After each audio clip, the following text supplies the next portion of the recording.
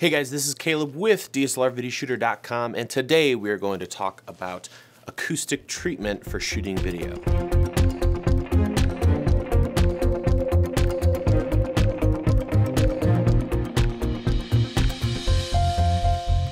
I've been meaning to do this video for a long time. It's been one of the um, most sound altering things I've done to any studio I've worked in and it makes such a big difference. So I want to talk about acoustic treatment today, and I'm going to start by talking about the difference between soundproofing and acoustic treatment. They are completely different things. Soundproofing completely blocks sound from going to a different space.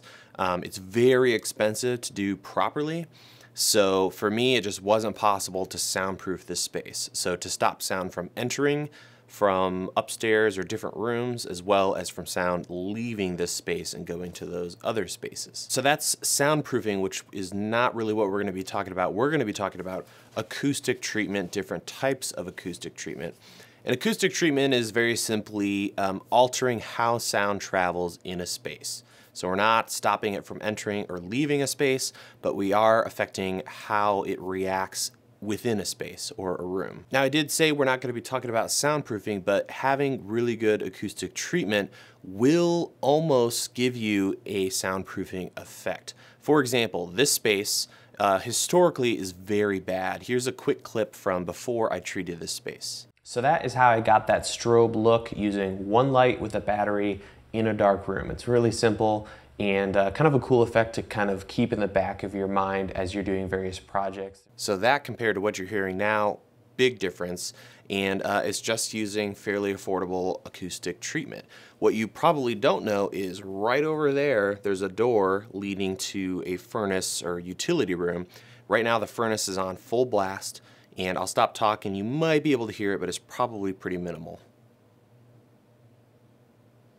So I've got that furnace room, doors open, furnace is blasting, there's duct work above me, um, but you really can't hear it, or if you can hear it, it's so low that you're not gonna hear it over my voice and this video. So even though it's not soundproofing, um, acoustic treatment makes a big difference. You know, I can hear that furnace very clearly from here, but this microphone isn't going to pick it up because of the way sound travels. Speaking of how sound travels, we need to quickly go over how sound travels in a space.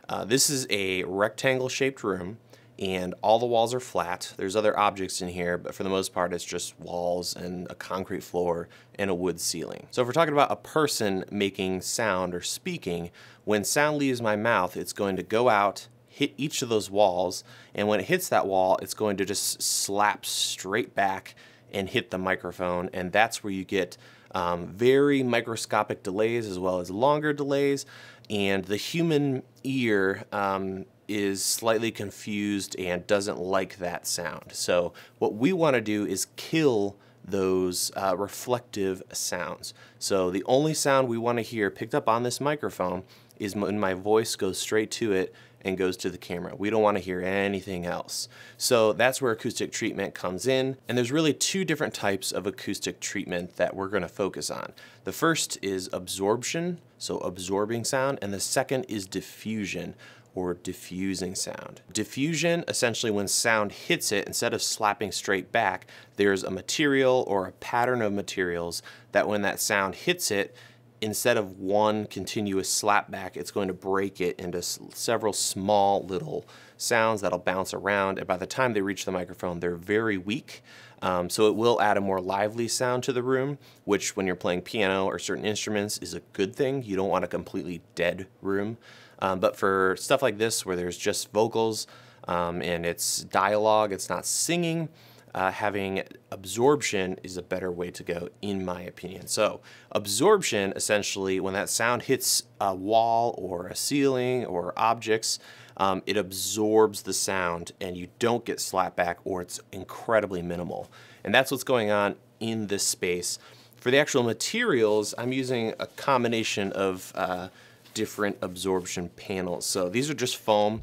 Um, they're not just standard foam you'd find in a mattress. Uh, you don't want to buy cheap foam or foam that's used like those those egg crate foam. That's borderline useless compared to this stuff. So I've been using a combination of 12 by 12 and 24 by 24 inch panels, and these are two inches thick. So they go from the back to the tip of this uh, channel here is two inches.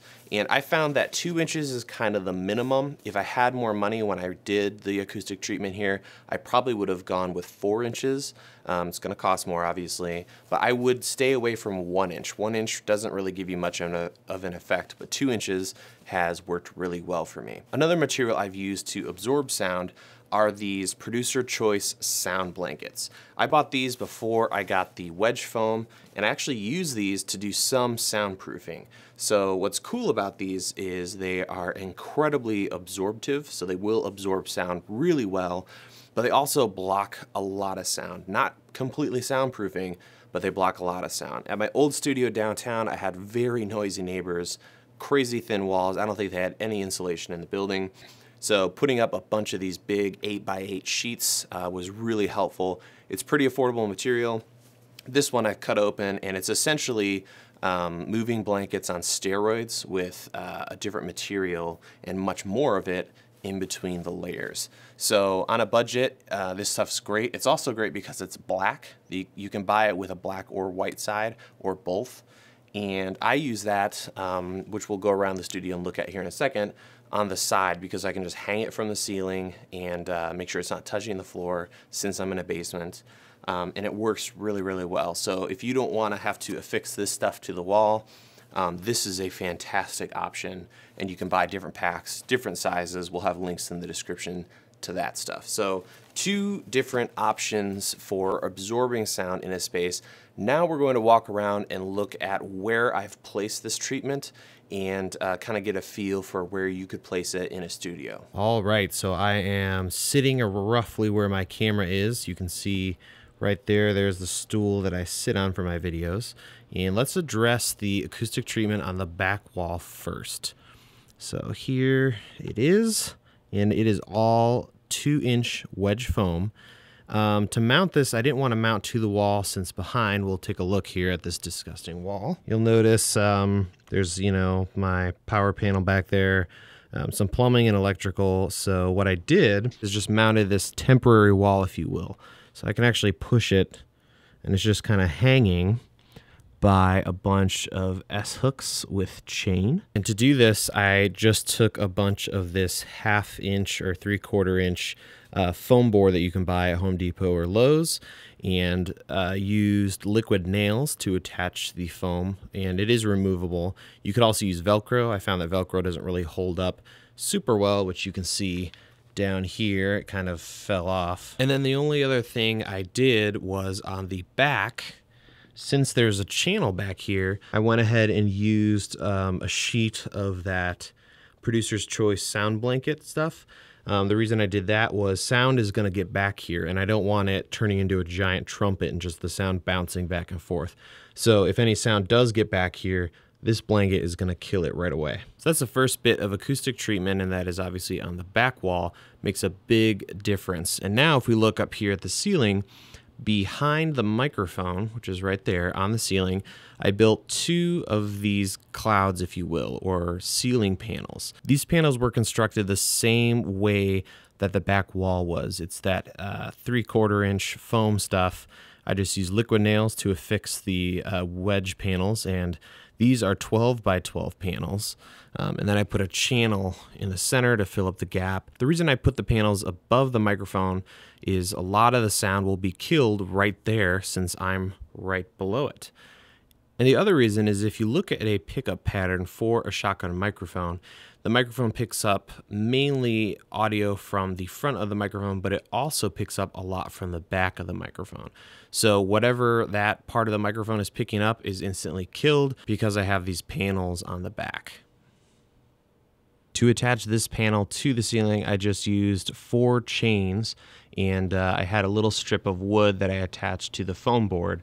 That way I can go ahead and mount the chain to it. The whole setup's really light, so I'm not worried about it falling down. And then finally, for acoustic treatment, I have one of those producer choice sound blankets on this side wall, if you will. Um, again, it's just mounted to the ceiling with chain. You can see that there. and it does an amazing job with killing sound that's floating around the room.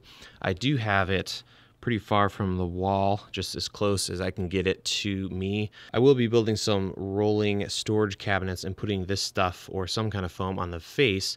That way I can take advantage of that space between the wall and where I shoot. You'll notice on this back wall I had to make a couple cuts of that 24 by 24 inch panel stuff and the best way to do that I have found is to pick up one of these Black & Decker or a different brand um, meat cutters. I think they're used for uh, delis or you know, carving up a turkey and uh, it just plugs into the wall. And this thing just cuts so beautifully through that foam. You can get nice straight cuts and uh, no fraying or anything. So if you're going to be doing a lot of this foam wedge stuff, make sure you pick one of these up.